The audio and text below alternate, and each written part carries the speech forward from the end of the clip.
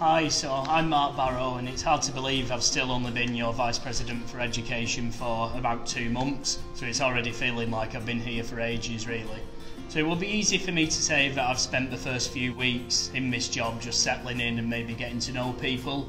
That, of course, is true, but I've been doing a lot more things besides that in my attempts to enhance your student experience during my next academic year.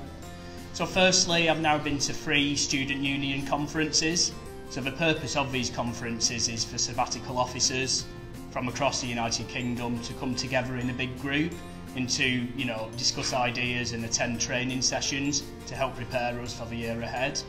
So the training sessions are very beneficial. They provide us with skills that we will use during our time in office. But to be honest, I did find the most beneficial part of them conferences was the networking with other sabbatical officers from different student unions you know, listening to their experiences and their ideas is um, quite inspirational, really, and it's given me ideas of what I can work on in the year ahead. So back in the office I've made progress in regards to my priorities for the next year which are in line with the manifesto that I produced.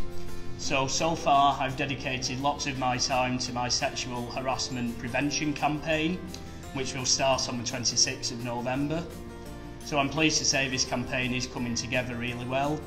So the campaign will be launched through a campaign video, which I've now secured funding for, and the video will consist of several students and staff members outlining just what sexual harassment is and where victims can seek professional help within the university.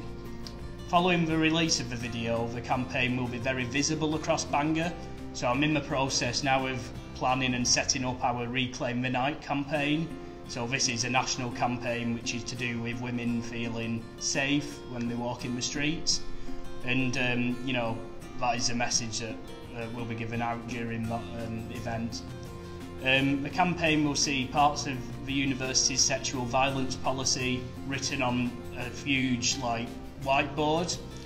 um, which we're going to take to different buildings across the university.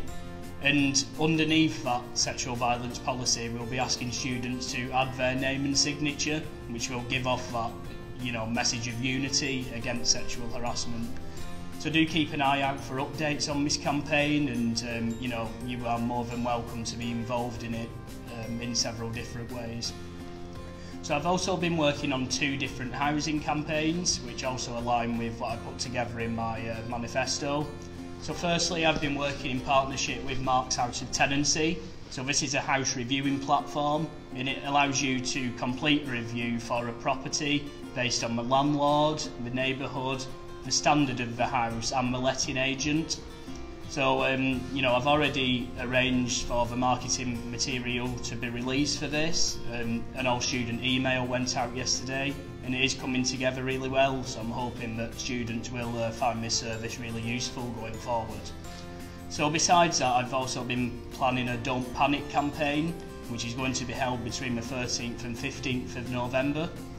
So the purpose of this campaign really is to provide students with detailed information about the accommodation in Bangor and to reassure you really that there is no need to panic into signing up to a contract. You know, there is plenty of accommodation available for you.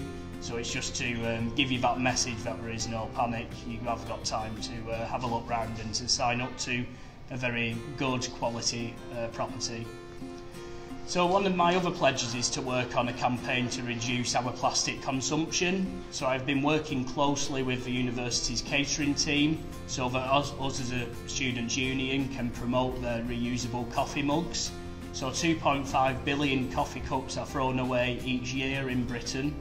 And um, you know, by investing in one of these reusable mugs, you are doing something practical to help the environment. And it also means you get a 10 pence discount on any hot drinks um, that you buy from the university's food outlets. There are many exciting ways you can be involved in the plastic reduction campaign. We've already arranged a beach clean volunteering project for the 29th of September, which any student can come along to.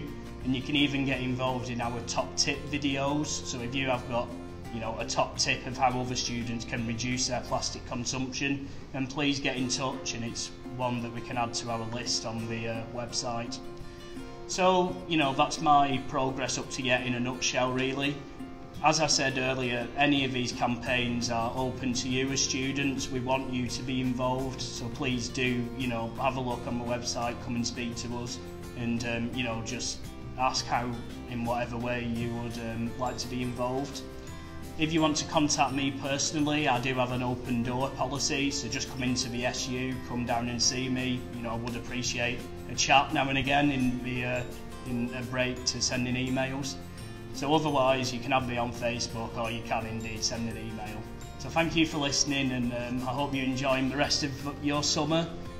I look forward to seeing you in September.